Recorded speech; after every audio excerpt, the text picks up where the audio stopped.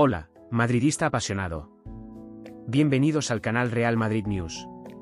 Si eres un verdadero fan del Real Madrid, no olvides suscribirte al canal para estar al tanto de todas las últimas noticias y novedades del club.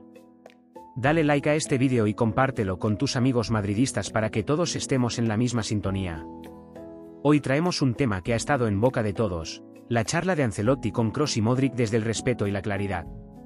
En esta exclusiva, te contamos cómo el alemán y el croata están peleando para mantener su influencia en el Real Madrid, sin rendirse ni un segundo. El entrenador sabe perfectamente el valor que tienen y tiene claro que seguirán dejando su huella, aunque en un papel distinto. Kroos y Modric han visto reducido su tiempo en el once titular del Real Madrid, lo que llevó al técnico blanco a tomar cartas en el asunto con una charla de corazón a corazón con ambos. Estos dos futbolistas todavía tienen muchas páginas por escribir en la historia madridista, y el entrenador les hizo saber que su contribución sigue siendo vital, aunque en una nueva dimensión. Se busca una transición suave y exitosa. Carlo Ancelotti es un auténtico sabio del fútbol. Conoce los secretos del vestuario desde su época de jugador y lo ha demostrado, como cuando eligió a Lunin como titular ante el Almería, a pesar de la llegada de Kepa. Analizando la plantilla actual, supo que las tensiones podrían surgir en el centro del campo. Ya desde el verano de 2022, Ancelotti intuyó que este momento llegaría. Por eso, reunió en Los Ángeles a Cross, Casemiro y Modric para explicarles que podrían tener que compartir minutos ante talentos emergentes como Chouameni, Valverde y Camavinga. El cambio de rumbo con la salida de Casemiro modificó el panorama, y antes de que la liga comenzara, esa charla se repitió, esta vez con el croata y el alemán.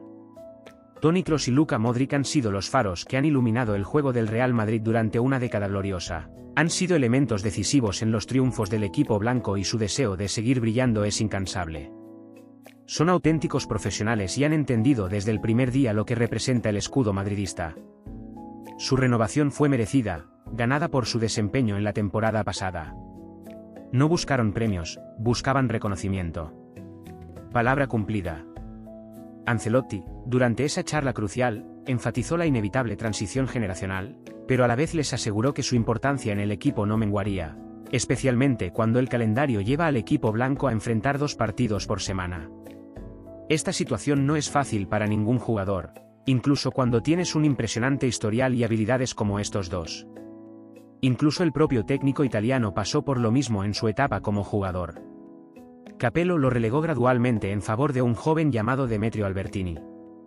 Un jugador nunca se siente inferior a su compañero, sin importar los años ni la calidad del recién llegado. Siempre se cree el mejor. Por ahora, la situación parece estar bajo control, pero sabemos que todo puede cambiar.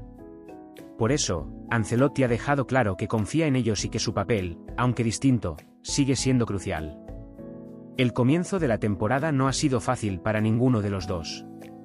Nadie disfruta estar en el banquillo, pero mientras los partidos se suceden, Kroos y Modric están aprendiendo a abrazar sus nuevos roles. El alemán tuvo la oportunidad de ser titular ante el Almería debido a los problemas de Camavinga, mientras que el croata empezó en el banquillo frente al Celta. Sin embargo, ha tenido su tiempo en los tres partidos. El mensaje del técnico es claro, cuenta con ellos. La calidad del centro del campo del Real Madrid es innegable. El cambio de táctica se debe, en parte, a dar espacio a los siete centrocampistas. El nuevo esquema, con Bellingham como líder indiscutible gracias a sus cuatro goles y su influencia, está demostrando que Ancelotti tenía razón. La fuerza física del equipo madridista es impresionante y los resultados respaldan esta visión. Tres victorias en tres partidos. Por ahora, el rumbo gusta y gusta mucho. Y ahí lo tienes, madridista, no te pierdas ninguna de las novedades del Real Madrid y sus jugadores.